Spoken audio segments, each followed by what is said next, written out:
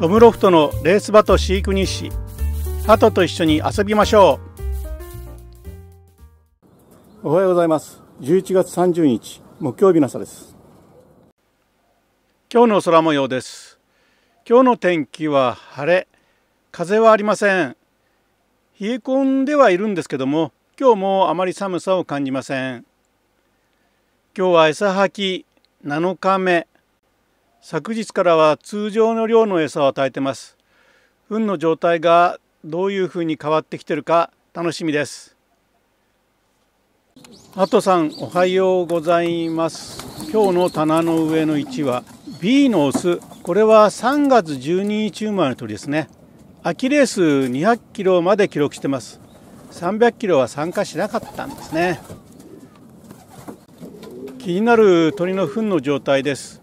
厩舎の入り口からいつものように奥の方へカメラを動かしてます。今日の糞はどうでしょう？パッと見おお昨日よりもいいですね。塊になってきてます。普通の糞という感覚ですね。ああだいぶ良くなりました。これなら大丈夫ですね。不調の底は出してほぼ8割9割回復してきたなっていう感触です。出社口を開けまして車外を開始します。出社口の前には鳩が今日は昨日よりも集まってきてますね。出社口を開けましたら外に出ていく勢いもあるような気がします。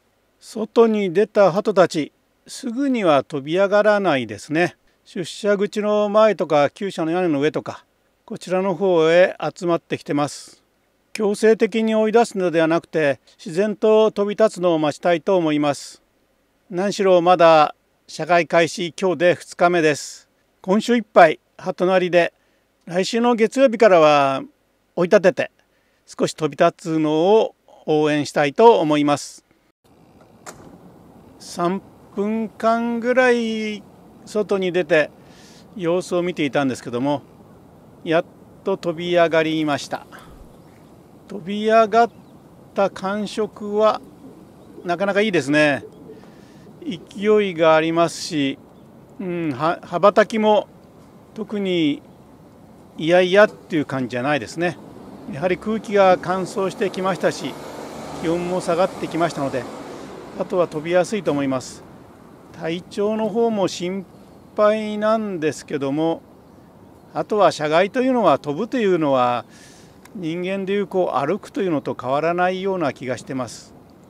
ですから通常にこう車外でぐるぐる回ってるのは人間が歩いて散歩してるような感じだと思います。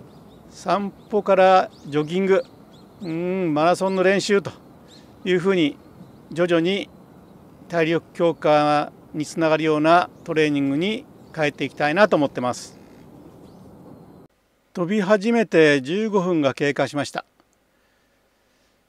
何羽かは厩舎の屋根の上に降りてきてしまったんですけども残りの鳩は飛び続けてます。厩舎の周りぐるぐる今は回ってるんですけども先ほどまでは少し離れたところを飛んでましたね。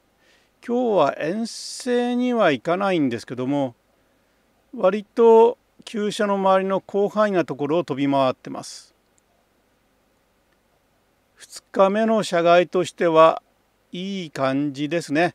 最初の飛び出しの時も良かったんですけども15分経過した後もなかなかキレのある飛び方を継続してます。休明け2日目の車外にしてはなかなかいい飛び方をしてるなと思って安心して眺めてます。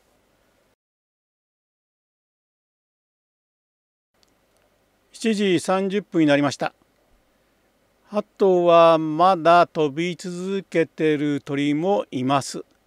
というのは何羽ぐらいですかねもう67羽は屋根の上に降りてきてそのうちの何羽かは厩舎の中にもう入ってしまいました。今日も入社口は開けっぱなしにして先に降りてきて厩舎の中に入りたい鳩は入れるような形の運用をしてます。今飛んでいる鳥たちもそろそろ降りてきそうですね。社外再開2日目にしてはよく飛び続けている鳩たちです。ただいまの時間は7時45分になりました飛び続けてた鳥がやっと降りてき始めましたこの発達の飛翔時間45分社外再開2日目でこれだけ飛んでくれれば体調の方はだいぶ良くなったなという感じがします。今降りてきた鳩の中にワンダー姫が入ってんですね。このワンダー姫社外が好きなんですね。なおかつ今回ここまで体調はそれほど悪くないみたいです。楽しみですねこのワンダー姫。色が変わってますし期待しちゃいます。病み上がりで社外再開2日目。どんな社外するのかななんてちょっと心配しながら社外をしたんですけども。思いのか鳩はよく飛んでくれました。30分ぐらいから45分ぐらいの間ですね。これだけ飛んでくれれば十分だと思います。糞の状態も今日はまあまあこのくらいならいいなって感じですね。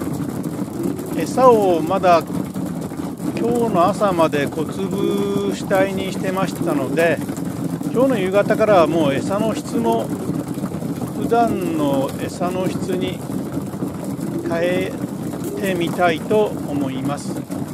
それで明日の朝の糞が異常なければもうこれで病み上がりという表現を終了してもいいのかななんて思ってます。あとは車外1時間飛ぶような形できれば来週の月曜日から強制で飛び出しをさせますけどもその前に1時間ぐらい飛び回ってくれればいいななんて思ってます。鳥の状態が思ったよりも早く戻ってきてほっとしているオーナーです。本日もこのブログにご視聴いただきありがとうございました。また次回もお越しいただきたくよろしくお願いします。失礼します。